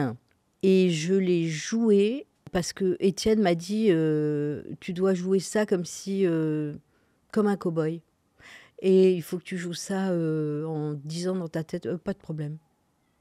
Pas de problème. Donc, je l'ai joué en m'en foutant. ça, ça veut dire quoi t'en foutre? Du résultat, de ce que ça va donner de, Ça veut dire quoi? Moi, il fallait que je sois dans un état d'esprit Ouais. de, de je m'en fous. Ah, c'est- ça aide beaucoup. Hein. Et du coup, on joue mieux aussi. Et comment tu rentres là-dedans? Parce que tu vois, par exemple, j'ai, accompagné une actrice qui justement se mettait énormément la pression Ouais. euh, de performer, euh, que ce soit dans les castings, que ce soit le, le Ouais. jour du tournage. Qu'est-ce que tu dis justement? En plus, tu as, accompagné euh, des, comédiens. Qu'est-ce que tu dis à quelqu'un qui se met la pression et qui n'arrive pas à s'en foutre? Alors, j'ai une fois, euh, quand, tu sais, j'ai fait des cours, mais pas longtemps. J'étais prof 3-4 ans, c'est tout. Mais j'avais une élève qui était une actrice incroyable. Et un jour, un soir, je, je la vois bourrée dans une fête. Dis, Putain, si elle était comme ça sur scène, ça serait génial. Donc, le lendemain, je lui dis Jou- joue tout comme si tu étais bourré. Parce qu'en fait, notre métier, c'est se mettre en état d'ivresse. C'est se mettre en état de créativité. Donc, il y a un, un tout petit truc dans le cerveau qui se décale, tu vois. L'état de poésie, c'est un. c'est- être droit, mais c'est un peu de biais. Un, peu, Et ça un petit strabisme mental. Mais incroyable Et pour toujours. C'est-à-dire, tout d'un coup, elle a compris que. Ça l'a, ça l'a réussi à se mettre dans un mode grâce à ça. Ça lui crée Ouais, un- une forme de raccourci dans la tête de Ouais. comment y arriver. Mais c'est grâce au fait que je l'ai vu bourré. Je me suis dit, mais en fait, quand on est ivre, moi, je bois pas d'alcool, je suis allergique. Mais crois-moi que faire toute une vie sans, pou- sans pouvoir boire d'alcool, c'est très dur. Mais ça veut dire quoi être allergique? Ah, je suis allergique, je, je- je suis, je tombe malade. Ok. Donc, imagine que tous les trucs que vous faites, vous, en, vous- en vous, en vous donnant du courage, allez, je bois un petit coup. euh, Tu peux le faire. quand tu as rencontré ta femme, euh, est-ce que tu avais bu un petit coup? Non. Bravo. Ni quand tu l'as rencontrée, ni quand tu, as, tu lui as dit ce que tu ressentais pour elle. T'as pas bu un, même pas un petit. C'est, c'est possible un petit peu, mais vraiment pas beaucoup. Tu vois un petit peu? Peut-être. Moi, un petit peu, je suis malade pendant 48 heures. Donc, j'ai fait toute ma vie à sec. Pour être bourré sans alcool. Ah, alors euh, justement dans mon métier, je peux me mettre en état d'ivresse. Je peux suivre des gens en état d'ivresse. Mais le courage que tu gagnes avec un peu d'ivresse, je ne l'ai pas dans la vie. Mais, mais t'arrives quand même à te mettre dans ce mode où j'en ai rien à foutre. Là où t'as des personnes qui se mettent, qui ont, un vrai talent et qui, sont, qui travaillent. Mais justement, typiquement, une personne, là tu vas donner un bon exemple avec la personne qui. Bah, mets-toi comme quand t'étais bourré. Quelqu'un qui se met la pression de devoir réussir, que ça soit bien, que ça soit qualitatif. Elle a envie d'avoir, euh, je sais pas, euh, l'attention euh, du réalisateur ou autre que la technique, qui est une super technique hein, de, de s'imaginer euh, bourré. Comment tu fais pour lâcher la pression de, de bien faire? Parce que c'est un truc que je, vois en permanence que, ce soit d'ailleurs sur le métier de comédien, mais ça peut être sur j'ai envie d'écrire un livre, j'ai envie de réussir mon entretien d'embauche, j'ai envie de réussir ce moment de séduction. Comment tu fais pour lâcher ce truc et t'autoriser à foirer? Bah, moi, je ne sais pas comment je fais. Je le, le fais pas, je crois. Tu sais bien, on est très bon conseiller sur les choses qu'on ne sait pas faire. Toi, si tu as fait tout ce que tu as fait, c'est de tes faiblesses que tu as été puisé. C'est parce que tu comprenais l'état de faiblesse ou l'état de, de- de- d'empêchement que tu as trouvé les, les bonnes choses à dire aux autres pour ne pas être comme toi. Bon, bah moi, je suis hyper bonne conseillère. Mais pour moi, euh, non. Alors, pour des rôles précis, quand on te dit, euh, ben là, elles sont fous, ben tu le fais. En gros, je crois qu'il y a beaucoup de choses, il faut juste le faire. Par exemple, ferme les yeux. Euh, voilà. Et tu ne me dis pas ce à quoi tu vas penser. Ok. Voilà. Imagine-toi dans les la chose que tu rêverais le plus dans ta vie de faire. Ok. Imagine-toi donc de la faire. Tu es où? Tu fais quoi? Et à quel moment? Voilà. Ouvre les yeux. Ne me dis pas. Ok. Fais-le. Mais c'est aussi simple que ça en fait. Non, c'est clair. Et il y a beaucoup de gens qui euh, juste le font. hein. Je vois. Si on faisait un exercice, si on essayait de faire un guide sur comment ne pas réussir à être comédienne, comment euh, foirer sa carrière de comédienne. Comment foirer sa carrière de comédienne? Ouais, comment euh, ou, ou ça peut Ah, être faire un guide de ça? Ouais, si on faisait un guide de comment foirer sa carrière de comédienne ou même foirer sa vie, choisis l'un ou l'autre ou les deux. Ça serait quoi les choses essentielles pour foirer sa vie? Les choses essentielles pour foirer sa vie. Et je dis même pas qu'on déteste tout le monde, puisque c'est une saveur, la détestation. Donc imaginons voilà, que tu es un personnage Mm. et ce personnage a pour mission de- d'enseigner aux gens de comment créer une vie qui n'a pas de saveur. Ce personnage dirait quoi du coup? Bah, je ne sais même pas, parce que c'est tellement en reflet, et je vois très bien où tu veux en venir. Non, Quelqu'un qui a réussi sa vie pour moi, dans les gens que je connais, par exemple, Ouais, ouais, des gens qui aiment. Qui aiment. euh, bah, des gens qui ont. Ben, des gens qui font des trucs que je ferais pas, euh, des gens qui, qui voyagent, qui, euh, qui ont peur de rien. Moi, j'admire les gens qui. Ouais, qui ont des, des courages que je n'ai pas, qui. Des explorateurs, des, des sportifs, saut à la perche. D'où ça vient, ça, ce sport? Le saut à la perche D'où ça vient ce sport tu te verrais faire ça Non, plonge, plongeur, plongeur, euh, tu sais, la figure là. D'où ça vient? De, À quel moment tu te lances dans le vide comme ça, tu fais des figures? Le mental de ces gens-là, j'aimerais bien les. T'en connais? Bah, on a fait une interview avec Mike Horn, je pense que c'est un bon, bon exemple de ça. Et pas alors Qu'est-ce que tu. Tu le définirais comment euh, Ah, je ne sais pas si je le définirais, mais il y a un truc qui, moi, m'a aidé, son rapport différent de la normale à l'adversité, à la souffrance. Ouais. Et euh, c'est paradoxal, mais plus à l'aise que la moyenne à souffrir, et du coup, je pense que ça lui épargne plein de souffrances. Ouais. Moi, je sais que ça m'aide, des fois, je pense à lui, dans des moments de, de challenge, de, euh, de, de voir cette adversité, cette souffrance comme quelque chose qui me renforce. mhm. Et ça, je pense que c'est euh, c'est très développé chez lui. Et, et du coup, ouais, c'est le paradoxe. C'est-à-dire que plus tu veux vivre une vie où tu échappes la difficulté, l'adversité, la souffrance, plus la moindre euh, petite chose dans ta vie est une adversité. Alors que quand tu te confrontes, comme c'est lui, c'est son cas physiquement, Bah, physiquement et euh, avec les éléments. Ouais. Parce que ça, tu peux pas contrôler. Là, il est vraiment dans. Il peut pas contrôler. Il peut se gérer à peu près dans les, dans les éléments, mais les éléments vont être plus forts que lui de toute façon. Donc, soit il faut faire le bouchon dans la tempête, soit il faut faire. euh, Mais les explorateurs, c'est un truc. Moi, j'ai tiré une des phrases. euh, une des phrases, une de mes phrases euh, un peu comme un motto, c'est Fridtjof Nansen, qui est un des premiers explorateurs du Grand Nord, donc un Norvégien, qui a été plus tard aussi l'inventeur du, du passeport pour apatrides. Donc il est prix Nobel de la paix, le gars. Bon, bah c'est un mec. Il a dit tiens, je vais fabriquer un bateau. C'était au début du 19e. Je vais euh, faire que ce bateau puisse être enfermé dans les glaces donc, et une souplesse. Je vais constituer un équipage. On va aller s'enfermer dans les glaces du pôle Nord. Et puis on va voir ce qui se passe. c'est un viking, le gars. C'est un peu ma boule quand même de se dire bon, on va se laisser enfermer. Donc il se laisse enfermer dans les glaces. Et puis il passe, je crois, euh, peut-être un an, peut-être plus. Euh, bah, aller visiter la banquise, machin, faire des expériences, des trucs, écrire son journal de bord et tout. Il mange comment? Ils pêchent, ils, man- ils- enfin, tu vois, ils creusent des trous, ils vont. hein, bon, bref, tout l'équipage est quand même consentant pour le néant, pour euh, non-objectif. On y va.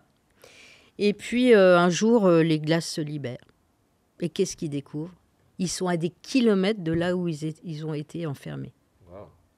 Donc, ils ont en partie euh, prouvé qu'il y avait les courants, etc. Bon, bref.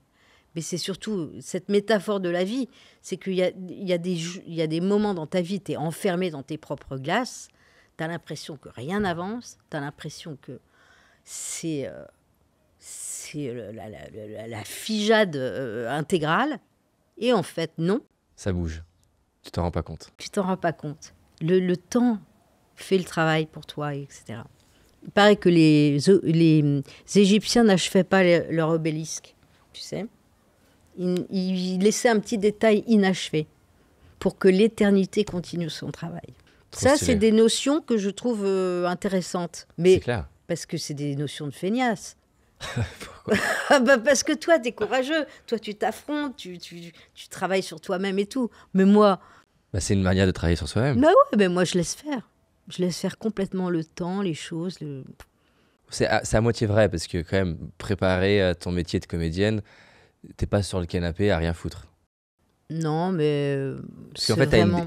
Tu as une définition euh, aussi bien particulière de ce que ça veut dire euh, euh, laisser faire. Je pense que c'est, de ce que je vois de toi, un mix des deux. Je suis pas tellement dans la volonté des choses. Non, non, vraiment pas. Je l'ai jamais tellement été, mais pas plus par flemme autrefois, et maintenant par euh, par conscience qu'en fait euh, tu peux pas vouloir à ce point-là. Pardon de te dire ça. Non Mais je pense que euh, on peut pas vouloir à ce point-là. Je sais Vouloir pas, quoi? il faudrait demander Vouloir quoi? autour de nous. Est-ce que bah vouloir quoi que ce soit. Tu peux vouloir changer des destins, tu peux vouloir euh, aider, tu peux vouloir, euh, mais tu ne peux pas vouloir. euh, je crois pas. Vouloir quoi?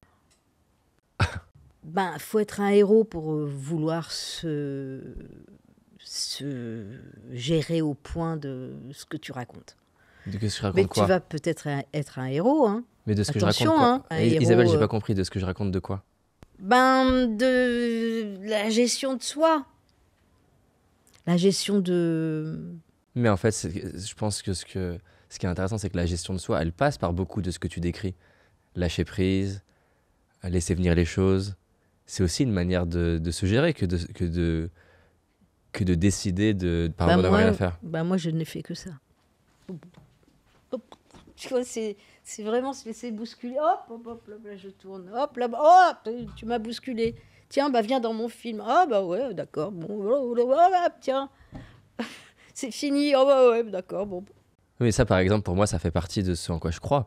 C'est comme si tu avais créé une image de, de penser que ma croyance, c'est que tu peux tout contrôler, et tout dans la Non. rigidité. C'est pas ce que je crois, en tout cas. Non. Et je vois bien parce que tu as de Tu- l'émotion. Tu m'as Mais- demandé pourquoi j'ai appelé ma boîte Paradoxe tout à l'heure. Bah, c'est pour ça. Je crois qu'il y a des choses que tu peux euh, influencer. Tu peux euh, mieux t'entraîner, tu peux mieux te préparer, tu peux mieux organiser. Mais je crois aussi que tu peux euh, créer de la magie sans organiser, sans planifier, sans te préparer. Et mais je suis pas en opposition à penser que ce Non, que non. tu dis. est-ce que les choses qui arrivent, on les a suggérées? Bah, je pense qu'il y a plein de choses que tu as suggérées. C'est-à-dire que si euh, la, la jeune fille de 16 ans, elle, euh, elle s'interdit de s'avouer à elle-même qu'elle a un murmure intérieur qui lui dit euh, c'est pour toi ce truc-là, t'es connecté à plus grand. Et j'en sais rien, pour faire plaisir à qui que ce soit dans ta famille, tu t'interdis d'aller vers euh, la comédie. Moi, je peux t'assurer qu'il y a beaucoup de choses dans ta vie qui ne se seraient pas passées. Donc, je pense que c'est un- c'est 50-50, quoi. Des fois, c'est vertigineux. Tu t'imagines euh, faire un autre métier des fois? Non. Non, mais par jeu, en Ah. disant ah, si j'avais fait ça, j'habiterais là, je ferais de ci. Ah, ça- non, je sais pas si je me le dis comme ça, mais par contre, c'est pour ça que j'aime bien en savoir un peu plus sur la vie de quelqu'un. C'est que le métier de comédien, je le trouve fascinant. Réalisateur, je le trouve fascinant aussi.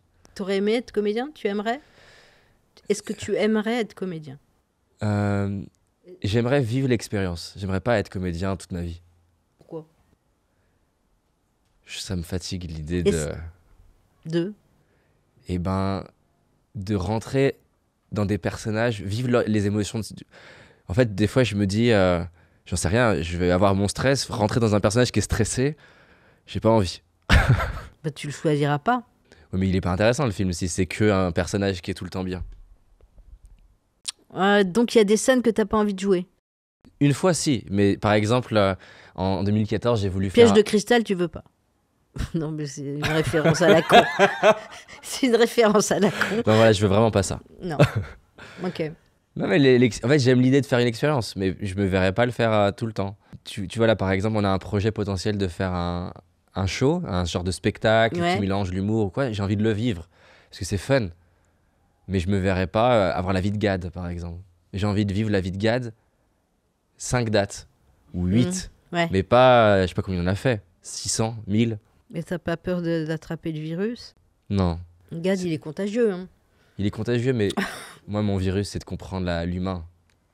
Et euh, ça, c'est. Il y a rien. Tu vois, quand tu parlais tu de, ce- veux. de ce moment où tu t'es connecté à, à plus grand et tu vois pas le temps passer, moi, il est quand je.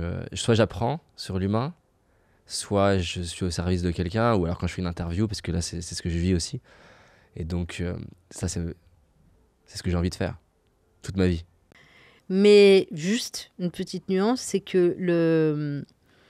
Il me semble, mais maintenant il me semble aussi dans la vie qu'on peut transformer cette espèce de, de choses comme ça où tout d'un coup tu es en, en- En relié euh, des pieds, euh, des pieds. Tu, tu- tu ressens ça avec certains chanteurs et tout ça où tu as l'impression qu'ils sont ancrés dans le sol, que ça les traverse, qui, qui sont reliés au, au spirit et qui, re- que ça redescend et que ça vient à toi et tout ça. Je l'ai pas vécu souvent. hein. Ce qui a été le déclencheur de vouloir absolument faire ce métier, je, ce déclencheur-là, je l'ai pas vécu souvent. hein. Mais en tout cas, il a été au moins suffisamment fort pour, te, pour être un guide. Ouais. Mais par contre, les rencontres, Mm. quasiment à chaque fois, c'est ça. Ce, ce sentiment d'être dans la. Dans la qu'il se passe C'est quelque chose. c'est un sentiment euh, incroyable pour moi, la rencontre. Je crois que c'est ce qu'il y a de plus beau dans la vie. En tout cas, ça se voit que c'est important pour toi. Prends trois cartes. Et il y a trois questions. Certaines sont plus profondes que d'autres. Et euh, tu peux répondre soit en version courte, soit en version longue à ces trois questions. Ok. Euh, je, je- indéfini. Je commence. Vas-y. Qu'est-ce qui me fait rire à tous les coups? Oh, Il y a tellement de trucs qui me font rire. Les gens qui me font rire sont des gens qui tout d'un coup sont embarqués dans un truc qui leur échappe et c'est c'est comme un Et ça part. c'est une flamèche. Il, il était, il était comment, Alain Chabat? Alors Alain Chabat, il est tranquille. Il n'est pas comme ça. Il n'est pas tranquille. Il est, il a l'air tranquille. Et il, il bouge sa jambe comme ça. Alors je sais pas s'il fume encore. Et puis tout d'un coup, il a un truc. Il dit tiens, j'aimerais essayer quelque chose. Et ça a toujours l'air pas important. Et ça a toujours l'air d'être euh, bon. C'est mineur. C'est-à-dire si c'est pas possible, euh, bah, est-ce que tu es encore là demain? Bah oui, je peux encore être là demain. Dans le désert, hein, on est. hein. Parce que j'ai pensé à un truc qu'on n'a pas mis dans le scénario, qu'on pourrait peut-être faire euh, entre deux scènes. Je ferai installer un travelling et puis on fera une, prise. Voilà. Alain Chabat et il sort euh, euh, la scène avec Jamel où, où, où Itinéris déconnecte. Itinéraire, je te capte plus là. Bouge. Regarde. Là, tu me captes. Non, regarde. Et, et là, Euh, euh, euh, mais- et là, tu m'entends Mais pas prévu. Elle n'est pas prévue. Hmm. C'est Alain Chabat, ça. C'est-à-dire ça. C'est. Oh, j'ai pensé. Alors, c'est Alain Chabat, il est surtout public des autres. Il rit de toutes les conneries des autres. Mais lui, ce qui se passe dans son cerveau, les gens, il faudrait aller faire un tour.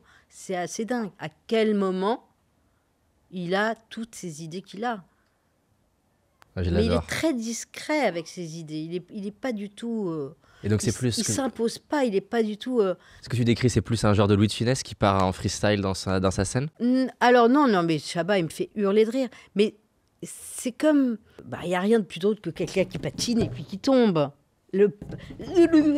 C'est le petit temps qui est... ah, Quand tu le vois au ralenti, de- tu te dis... ah, oh là Oh la merde, oh, est-ce qu'il y a des gens qui me regardent et blam? Ah, j'ai vécu une scène avec ma, ma chérie qu'on on aurait ad- adoré filmer parce qu'en fait, on était en. J'avais une conférence dans un. C'est Serbie ou je sais plus quel pays c'est, bref, peu importe. Et donc, du coup, il y avait un petit lac et on va. On Sur va, le lac patiné. on va faire. Non, il y avait, on va faire une petite barque, c'est des petites barques en bois comme ça. Donc, on fait notre tour de, de barque, ou je sais plus si c'était au début ou au moment où on attend les barques. Et en fait, tu as, un groupe de 4-5 personnes qui arrivent en barque. Et donc, pour arriver à sortir de la barque, tu sais, quand tu te mets sur le côté, elle risque de pencher et tu risques d'avoir de l'eau dedans. Donc, il faut euh, faire attention euh, pour en sortir. Et en fait, tu as une scène qui. je- enfin, on n'a pas compris ce qui s'est passé avec ma, avec ma femme, c'est-à-dire qu'en fait, là, il essaye de sortir. Là, elle penche, ils sont les quatre derrière. hein. Et l'eau, elle commence à rentrer, mais il reste silencieux. Et en fait, Ouais. et, et du coup, vu qu'il est silencieux et qu'il dit pas au, au mec qui gère de l'aider, ils vont se... ils vont se mettre à couler tout doucement, mais il y en a aucun, Qui réagit. il y en a aucun qui dit, euh, qui s'énerve. Il y en a aucun qui, qui pète- qui Ils pète- sont en ils, sont habillés, considération. euh, ils sont tous habillés, ils ont tous Ouais. un sac, ils- Ouais, bah, et c'est ils, ils ça. coulent tout doucement. Le flegme Monty Python. Et, j'ai, et, du coup, et du coup, ma femme, elle est explosée de rire. Sauf que moi, j'ai pas pensé à filmer parce que j'ai honte qu'elle rigole alors qu'en fait, ils sont tous en train de couler. Et ils, ils vont couler jusqu'à, jusqu'au bout. Et même quand ils sont dans l'eau, ils ne font aucun bruit. Et donc, euh, C'est drôle. donc c'est une scène Ça, que- voilà, bah, c'est tout ce que j'aime. Ouais. J'aurais adoré la filmer parce que franchement, elle est exceptionnelle. Bah oui, j'imagine.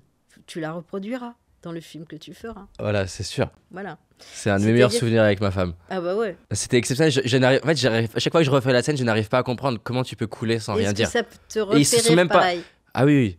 Ils se sont même pas insultés entre C'est la eux. tête en fait. C'est, c'est en fait c'est la tête des gens. Ah oui, c'est la tête, la non-réaction et qu'ils ils sont en train de voir l'eau qui comme ça. C'est le, la, la- le, le paradoxe de la situation. C'est-à-dire le situation extrême avec une réaction euh, minimale. Et moi j'adore les tours de cerveau. Tu sais, les gens où tu, tu, tu, tu les vois et, et tu sens que le cerveau, ils font un tour de cerveau avant de réaliser ou avant de se dire, ah, euh, tu vois, c'est vraiment, euh, pour moi, l'image, c'est... euh, Le génie absolu de ça, c'est euh, Stan Laurel. Il dit oui, j'ai compris, euh, et, tout d'un coup, ah non, c'était pas ça. Tu vois, c'est des va-et-vient dans le cerveau, j'adore ça. Et quand les situations se prêtent à, ce qu'il y ait des, double tech mentaux, voilà. Ce qui me fait le plus rire, c'est, ben oui, c'est, c'est le désarroi dans des situations pas trop graves. Tu as choisi dans une autre. Allez, une dernière. Ça me fait peur. Quel est, quel est ton process créatif? Quand tu, par exemple, quand, quand t'écris, tout à l'heure tu parlais que t'écrivais.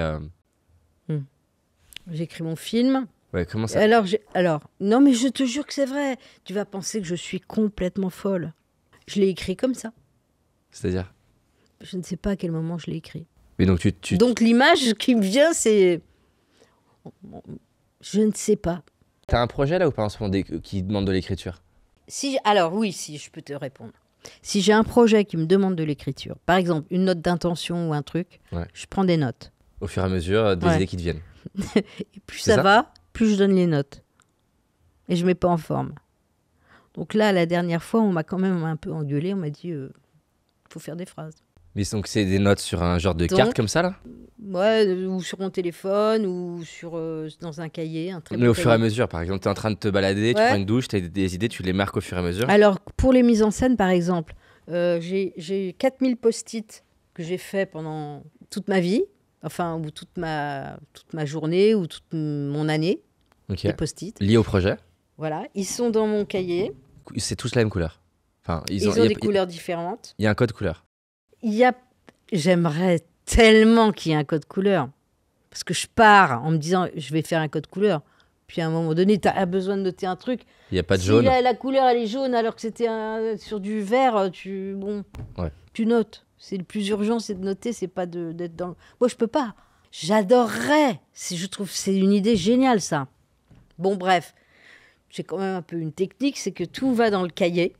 Un cahier qui va rester blanc. Avec que des post-it. Mais il y a des post-it sur chaque page. Mais c'est, c'est, c'est- il y a des chapitres, enfin c'est Alors, structuré ou c'est le... Ah, Des fois, c'est structuré. Ah, Ok. Et des fois, non. Des fois, c'est dans l'ordre de comment ça se passe. Des fois, c'est pas. Et le dernier jour, quand j'ai fini le projet, il n'y a plus de post-it. Donc je peux me resservir du cahier. Je suis très économe là-dessus. c'est un détail important. Mais non, mais c'est dommage parce que j'aime bien les traces. mais c'est comme ça. Ça s'est fait comme ça tout seul. Les post-it. Donc, t'as mis les post-it. Et après, soit c'est toi qui réécris, donc tu, les, tu rouvres ton cahier et tu prends les post-it et tu, euh, tu écris au fur. En prenant un post-it et t'écris. C'est ça? Ou sinon tu le donnes à quelqu'un Non. Ah Tu veux dire une note euh, oui, Ça, c'est pour toi. Par exemple, c'est une mise en scène. J'en fais plus hein, depuis 5 ans. Donc, euh, mais autrefois, quand je faisais. Ouais, je, dis, Ah oui, je voulais te dire. Et quand ça s'est produit deux ou trois fois, un truc que j'ai noté, ah bah tiens, fois 2, fois 3. Bon, alors, je voulais te dire, schlack. Et je sais que j'en aurais plus jamais besoin. Mais tu t'assois pas, du coup, t'as pas, t'as pas un moment donné où tu te dis, bon, en fait, là, tous les matins, à 9h, je n'importe quoi. Non, ça serait bien. Je devrais faire ça. Non. Tout le monde fait ça. Je sais pas. Tout le monde fait ça? Ouais, je pense. Non? Je sais pas. Les écrivains, ils font comment? Les écrivains, ils ont, ils ont souvent un process d'écriture. Euh, où ils écrivent le matin euh, au moins une heure et demie. Mais je connais moins la, partie mise en scène, les scénaristes par exemple, comment ils font. Ouais, bah, chacun a ses trucs, je crois. Moi, je sais pas comment on fait. En fait, je ne sais pas comment on fait. Et alors, ce qui est intéressant, et tu vas voir que c'est grave, c'est que je ne sais pas comment on joue non plus. Et quand euh, j'étais prof, je savais pas non plus. Donc j'ai bah, toujours prétendu que j'étais pas prof. Tu leur disais quoi? Je suis stagiaire? Non. Je suis euh, intéressé par vous. Je vais vous poser des questions. Mhm. Euh, on va trouver des, on va essayer de trouver parfois des solutions quand même. Mais dans, dans, en le faisant en fait. En le faisant. Donc tu vas jouer. Qu'est-ce qui t'empêche de, tu voudrais faire quoi? Qu'est-ce qui t'empêche de le faire? Comment tu peux faire pour euh, que ce truc-là. Prenons un, exemple du coup concret pour moi. Ouais. Donc si je fais ce, spectacle, ce show, Là où je suis pas encore. Donc, il y a toute une partie qui va être facile pour moi, c'est la partie explication. Il y a des anecdotes et des histoires, ça c'est aussi facile pour moi, entre guillemets.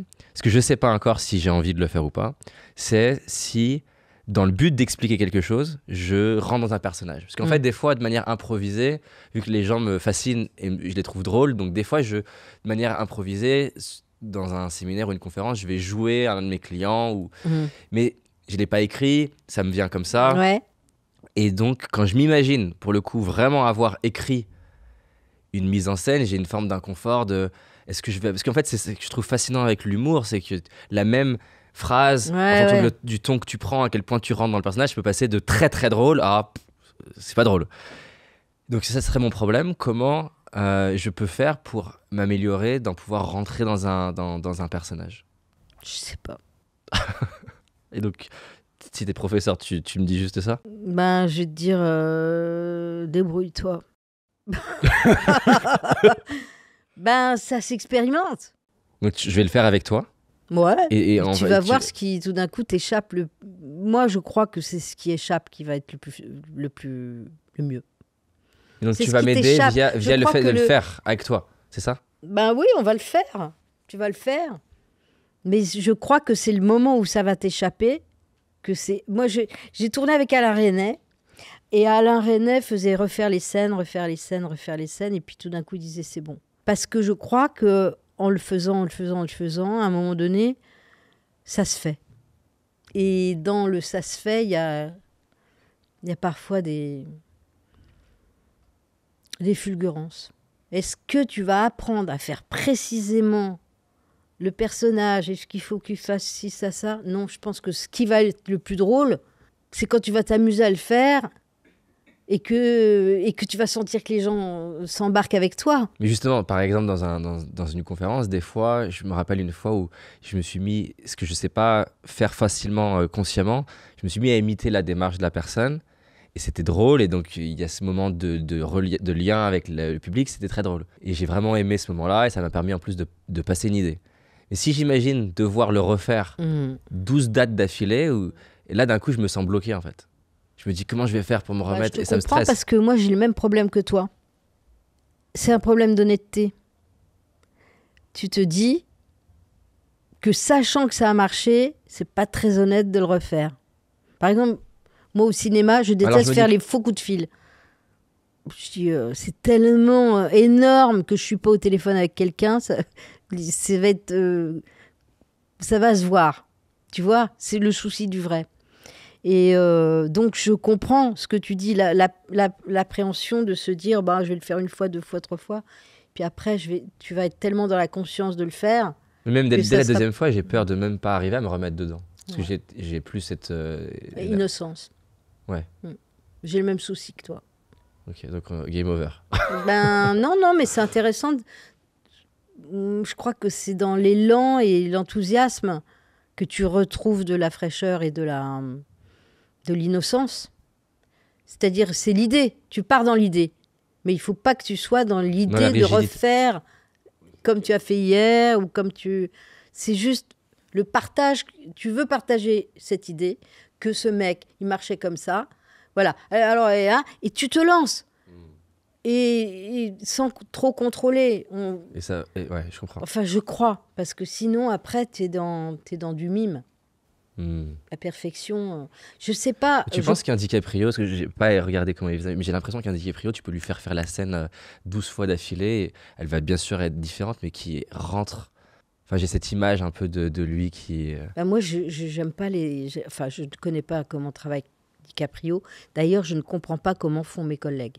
Je ne sais pas comment ils apprennent leur texte. Je ne sais pas. Ça fait cin- 40 ans que je fais ça. Ouais. Je ne. C'est un mystère total ce métier. Je ne pourrais pas être coach d'un acteur sur un film parce que je ne sais pas comment on fait. Je ne sais pas comment on apprend son texte. Je ne sais pas. Je ne sais pas comment on arrive à une émotion. Je, je sais comment diriger une pièce ou un film, euh, amener les gens à faire des trucs, mais je ne sais pas comment on fait. hmm. Et donc, je ne sais pas comment ils font les Américains. Je ne sais pas euh, si. Parce que y avait, on disait toujours qu'il y avait deux écoles. Autrefois, il y avait l'école des, des Anglais, on va dire, des mecs qui, qui faisaient au cordeau. Et puis ceux qui avaient fait acteur studio, qui étaient plus euh, dans l'instinct, etc. Après, il y a eu euh, ceux qui venaient du stand-up. Après, il y avait ceux qui venaient du, du- de l'improvisation. Donc, tu vois, ça fait plein, plein, plein de trucs. Ouais, Moi, je ne sais pas. euh, ça dépend du metteur en scène, ça dépend de.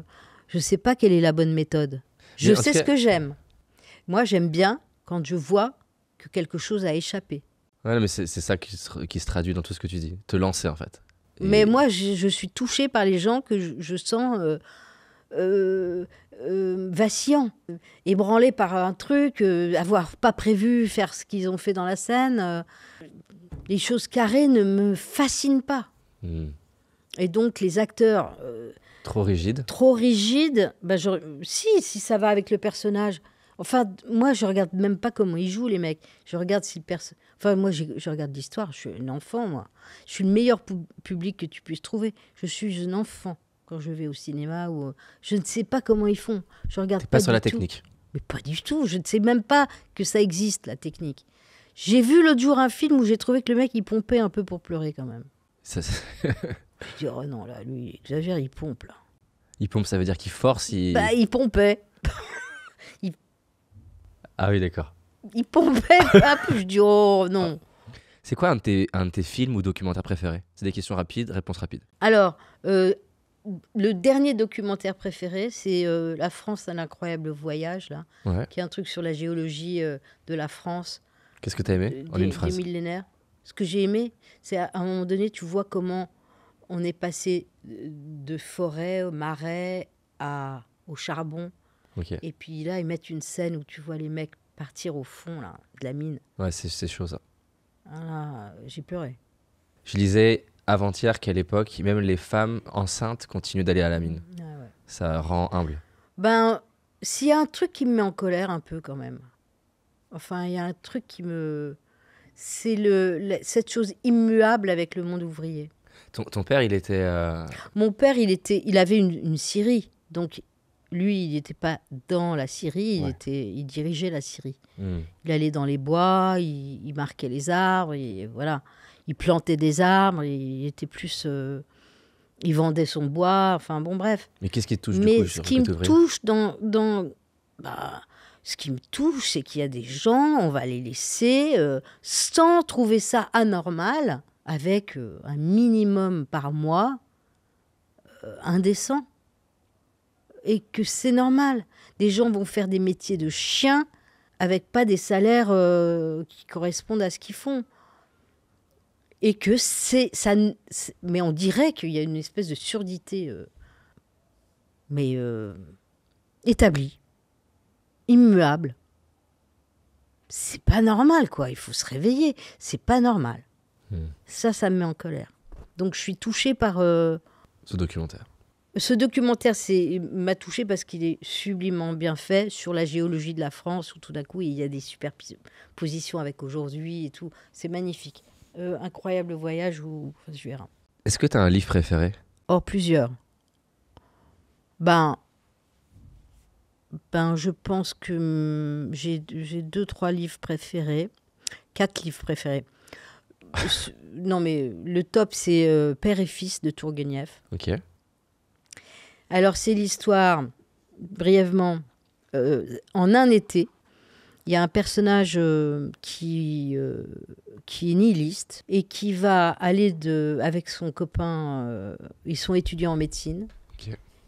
Donc, ils sont très jeunes. Et ils vont aller chez, les, chez les, la famille de l'un et de l'autre. Et en un été, le mec, qui est nihiliste, donc qui ne croit en rien, il va tomber amoureux et mourir. Fulgurant. Un été, les, blés coupés, lui aussi. Hop. Ça, c'est un des plus beaux romans du monde. Père et fils de Tourguenieff. Ensuite, il y a évidemment euh, La Trappe-Cœur, Salinger, et Le Baron Perché, euh, Italo Calvino.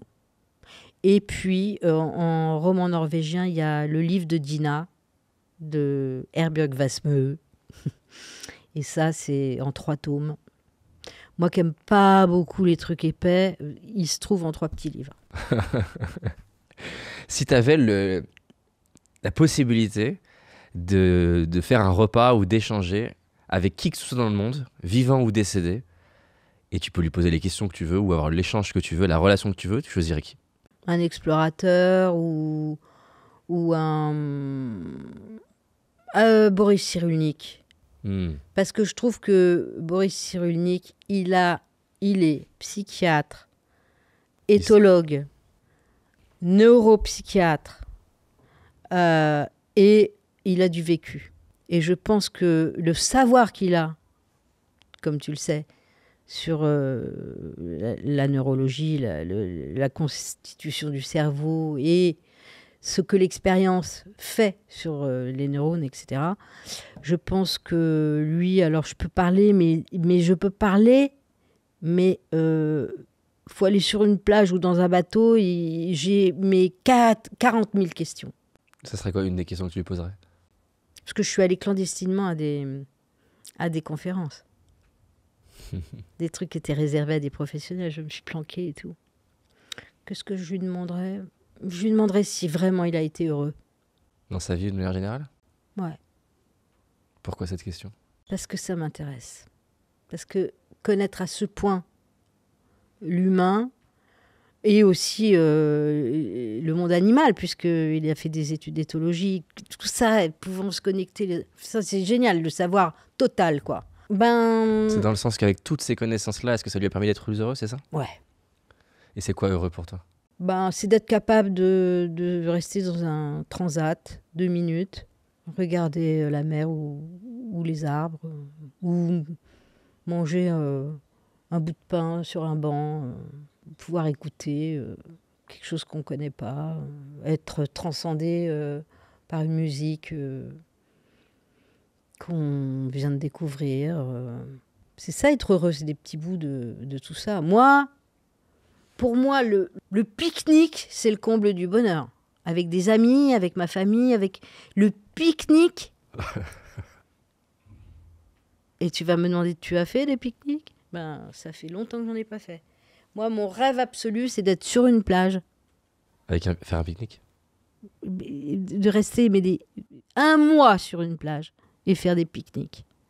Voilà, ça c'est mon Tout rêve absolu. Tu m'as dit, ferme les yeux. Hmm. Enfin, tiens, ferme les yeux. Visualise euh, un pique-nique. Ouvre les yeux. Et tu m'as dit, fais-le. Allez, je le ferai. Tu le fais? Quand? Je te jure, bah l'année prochaine, maintenant.